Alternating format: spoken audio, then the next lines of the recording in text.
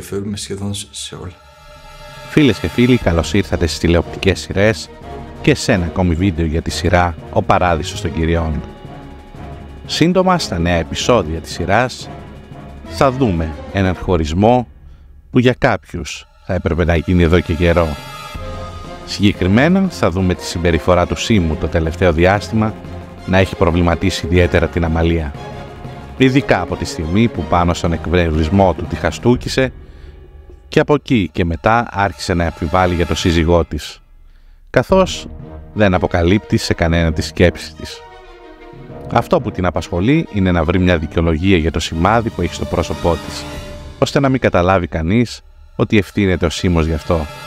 Ωστόσο η Μιράνδα, η μητέρα της, είναι η πρώτη που το παρατηρεί.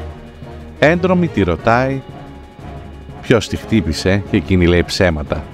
Όπως την ίδια αντιμετώπιση θα δούμε να έχει και με τον Τίνο, ο οποίος επιμένει να του πει την αλήθεια. Έτσι λοιπόν τη ρωτάει ευθέως και μαθαίνει τι πραγματικά συνέβη. Τη τονίζει πόσο επικίνδυνος και αδίσταχτος είναι ο σύζυγός της και την παροτρύνει να φύγει άμεσα από κοντά της.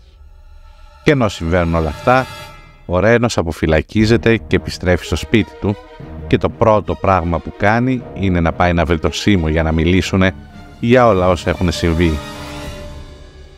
Φτάνοντας λοιπόν στο σπίτι του και ζητώντας του να μιλήσουν ιδιαιτέρως, ο Σίμος αρνείται κατηγορηματικά και του λέει να φύγει και να μην τον ενοχλήσει ποτέ ξανά.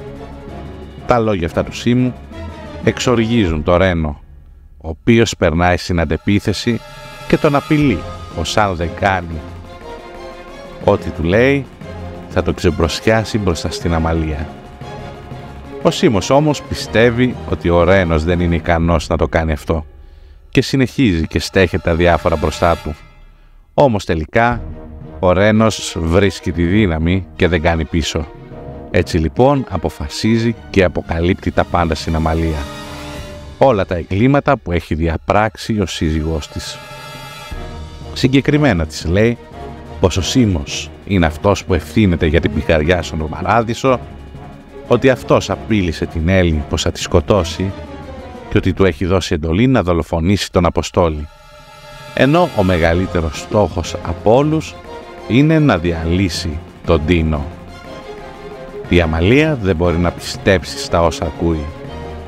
Ενώ ο Σίμος σε έξαλλη κατάσταση ορμάει κατά πάνω του και το χτυπάει με μανία. Η Αμαλία αρχίζει να φωνάζει και προσπαθεί να τραβήσει το Σίμο, ο οποίος συνεχίζει να χτυπάει δυνατά το Ρένο. Μετά από λίγο ο Σίμος διώχνει το Ρένο από το σπίτι και προσπαθεί τώρα να βρει έναν τρόπο να πείσει την Αμαλία πως όσα άκουσε είναι ψέματα. Ωστόσο εκείνη τους ζητάει να κάνουν ένα διάλειμμα για να βάλει τις σκέψεις της σε μια σειρά και να αποφασίσει τι πραγματικά θέλει. Ο χωρισμός του Σίμου και της Αμαλίας πλέον βρίσκεται μπροστά τους, καθώς γνωρίζει τα πάντα. Τι θα κάνει όμως ο Σίμος για να την πείσει να επιστρέψει κοντά του; Πλέον έχει να αντιμετωπίσει και τον Τίνο, καθώς θα πάρει εκδίκηση για το σημάδι που άφησε στην Αμαλία. Παρ' όλα αυτά, εσείς μην ξεχάσετε να κάνετε εγγραφή στο κανάλι μας και να πατήσετε στο καμπανάκι δεξιά, έτσι ώστε να μαθαίνετε όλα τα νέα μας. Αυτά για τώρα, τα λέμε στο επόμενο βίντεο. Γεια σας!